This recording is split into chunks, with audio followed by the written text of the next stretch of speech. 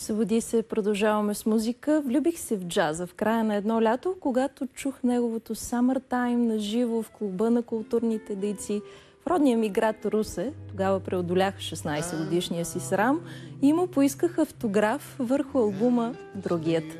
Запомни го като българския Франк Синатра с особено вълнение. Казвам здравейте и добре дошли на Васил Петров и неговата любима Маргарита Тошева.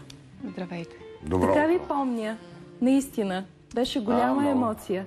Вълнувам се и днес, Приятна обаче изненада да го чуя. вие вълнувате ли се? Много. Един от друг. И джаза вълнува ли ви? Джаза и любовта за мен поне трябва задължително да вървят ръка за ръка. И, и двете са вълнуващи. Всъщност от джаза е любов. Вся, всяко едно изкуство е любов. След като отражение на, както и а, любовта между мъжа и жената, отражение на Божията любов, както и на между майката и сина, между а, дъщерята и бащата и така нататък. Но любовта към изкуството също е дадена от свише, така че а, в а, този смисъл а, всичко се събира в едно. В крайна сметка. Имаме ви тук днес заедно. Радваме ви се. Обаче много се радваме и заради информационния повод, по който ви поканихме. Предстои един а, спектакъл на 12 ноември в София. Един поглед назад към епохата на 60-те години, Точно Лас така. Вегас, Франк Синатра. Какво да очакваме?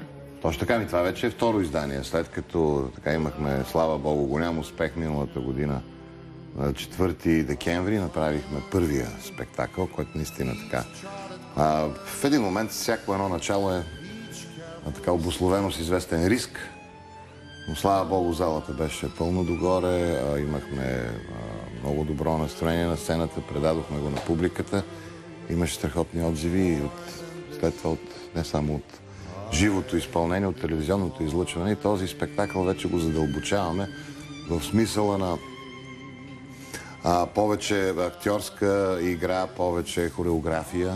Имаме нов балет с кардиобалет, 12 балерини, специални костюми. Миналата година беше Биг Бенда на Националното радио. Диригент Антони Дончев. Той пак ще си бъде на диригентския пулт, само че този път звезден Биг Бенд, All Stars Биг Бенд, с а, гост-солисти не само от България, от чужбина. А, нали, много интересна формация. Но а, освен това, моите гости, Михайла Филева, Орлин Павлов, това, това е новото попъл- попълнение. Един джентлмен сет, с който ще направим заедно с, а, така, с всички мъже. Е, разбира се, Брус Джонсън регистрира отново участие, както миналата година от Мисисипи. Така както го описвате, ще бъде празник за сетивата. Той как Дай се Боже. готви от дома за тази, бих казала, амбициозна и сложна програма? Ами, готви се. Той е доста спокоен. Ам, композира си вкъщи и репетира. Текстовете си учи на новите заглавия, на тези, които не ги знае, тъй като са абсолютно нови и за него. Започва деня с песен или завършва? По-скоро завършва. Винаги е различно. Аз понякога, да, естествено, освен да на, на изостиш, да назубриш текста, ти трябва да все пак да го претвориш в музиката, за да стане песента една симбиоза.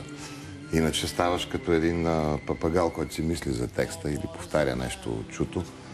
Така че а, сега вече точно на там са насочени усилията и трябва да се насочат вече в генералните репетиции, които ни предстоят. А, вече събран целият екип, с двамата режисьори, Алекс Борнас, Румен Григоров, да видим какво, а, как ще изглежда всичко това на, на тази голяма сцена. Добре, обаче не е ли адски трудно да скачаш от 21 век толкова назад във времето, в 60-те и след това отново да се връщаш обратно? Погледа е, а, погледа е през 2018. През призмата на 2018. съвременно шоу. Разбира се, а, а, ние запазваме и самата идея на началото на 60-те години, когато се е създавал шоу-бизнеса в Вегас. И когато а, Синатра и компания, така наречения Red Pack, са всъщност се движили, са дърпали конците, образно казано, в, а, така, в а, шоу-бизнеса, не само зад колисно.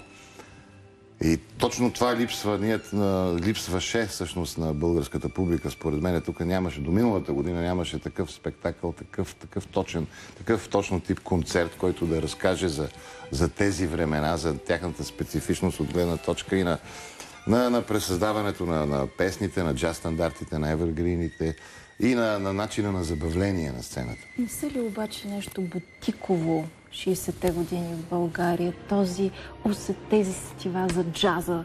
Има, има сериозно завръщане към, към 60-те години, да, наистина са нещо бутиково. Казахте през призмата на 2018 година, ние вървим към края на годината, когато сме свикнали да си правим равносметки за вас, двамата заедно и по-отделно.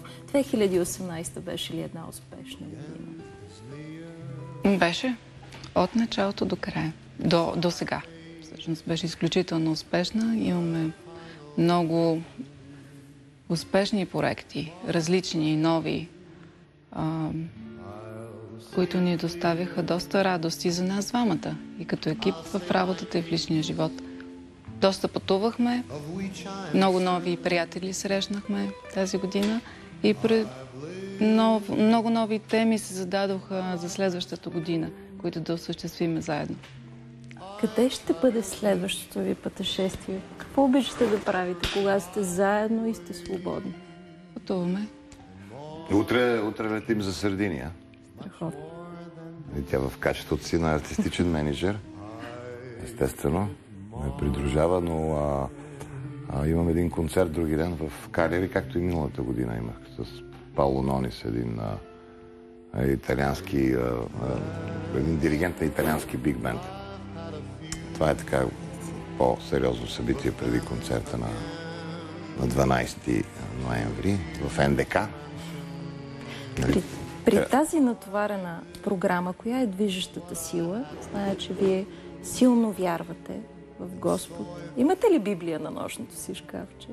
О, да, да, имам. Имам няколко, естествено.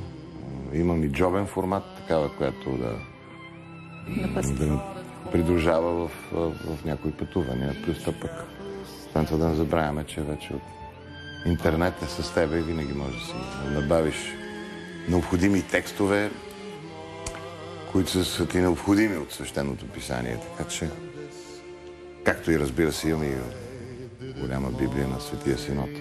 Маргарита, има ли той своите ритуали преди концертите? Предполагам, че това е най-трудният момент. Има, да. Обикновено една кратка молитва към Бога. Преди да излезе на сцена, преди частни ангажименти, въобще за важните дела, които му предстоят. А вие в какво вярвате? Освен в, в любовта и в джаза. Също така, в Господ. Кои са вашите комири, освен Франк Синатра? Е, да, значи, забранено ни е да имаме комири. нали, знаеме добре от Божиите заповеди, но хора, които предпочитаме да предпочитаме да слушаме, това са хора от, от най-различни изкуства, на най-различни жанрови стилове. Тоест, важното е да присъства талант. Присъства ли талант, всичко е наред. Така че няма нужда човек да се ограничава в а, така, определен стил или жанр. Да каже, аз обичам киното и нищо повече. Или Какво... само театър. Какво да очакваме от вас до година? Нарочно гледам към Маргарита, защото знам, че тя подрежда ангажиментите, но е въпроси към двамата. Е, да мине тази година първо, да мине. Изненади ще има ли Маргарита? О, да, определено. Може би началото на годината ще заминаме и за Америка. То ще има турне там. След което да очакваме третото издание на спектакъла, за което се подготвяме още сега. Чисто творчески, като идеи. Ще бъде много по-различно от първите две. И от тази годишното. Рисува ли той в къщи? Аз някъде прочетох, че това е нещо като хоби, което обаче много добре му се получава. Да, рисува. Скоро, скоро не, му, не му остава време. По-скоро. Всичките репетиции, подготовка за концертите, които предстоят. Ако, ако трябва да нарисувате джаза, като китайски иероглиф ли ще бъде или не е толкова сложен? Да, аз рисувам. Аз знам някои японски иероглифи. Те сигурно са още по-трудни. Ами, не съм сигурен. Не знам, обаче и си импровизирам. Има някои, които си рисувам така по въображение, не са действителни. Аз, Аз ви пожелавам да намирате повече време. За рисуване и за пътешествия. Благодаря ви, че дойдохте в студиото на Събуди се.